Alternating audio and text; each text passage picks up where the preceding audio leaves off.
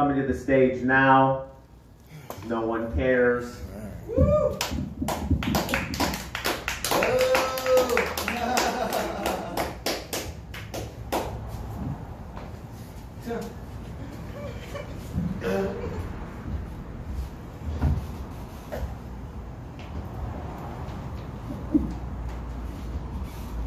Jose, uh, good job, man. First time. You know, so,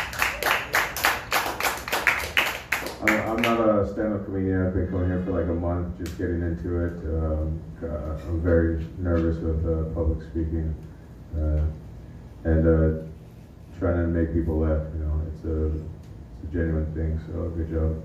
Uh, just keep coming back.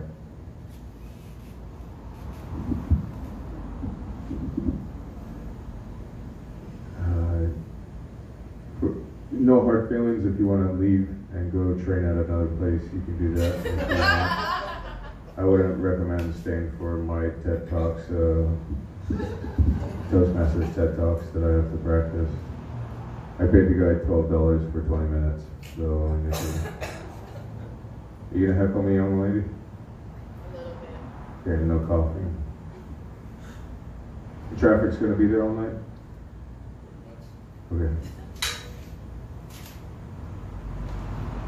You guys have heard all my A game material.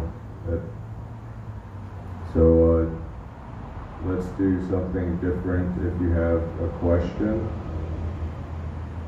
ask it.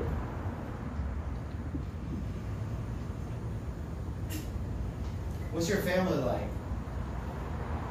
I have. Oh, okay, introduction. Uh, aloha, everyone. Uh, my name is Overweight Oprah Winfrey.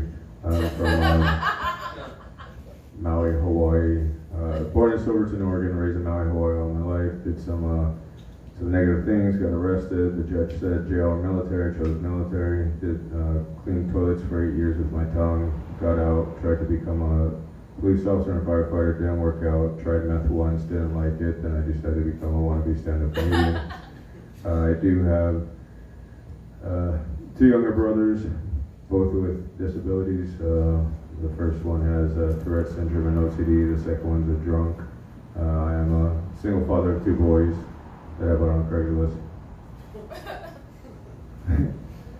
uh, so my family, it's uh, I, I feel I come from a hardship. Just in this lifetime, I got the experience of having a brother, another time out for the motorcycle.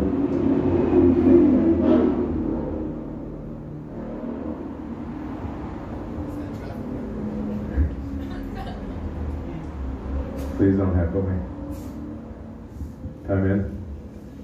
Uh, they, uh, two younger brothers, uh, having another human organism in his lifetime who has defects, the neurons in his brain, you know, a lot of people with disabilities don't have uh, proper functioning like the rest of us normies. And uh, it's just been hard to watch him get picked on uh, in this lifetime, and a lot of a lot of things that I had to see my mom go through as a single mother of three kids, one with disabilities, uh, fighting like the Department of Education in the state of Hawaii. Uh, that was kind of a difficult thing as I grew up understanding the uh, bureaucracy behind education with people with disabilities, and uh, so whatever challenge it, it lies, uh, you know, I've had the uh, in this. It's a challenge. It's a challenge of my life, and uh, I don't know. I guess that's what kind of compels me, or feel makes me feel entitled or compelled to try and make people laugh uh, through whatever positive energy that we're trying to do uh, here in this career, this mindset, this ideology of becoming a stand-up comedian. I paid for ten, bro.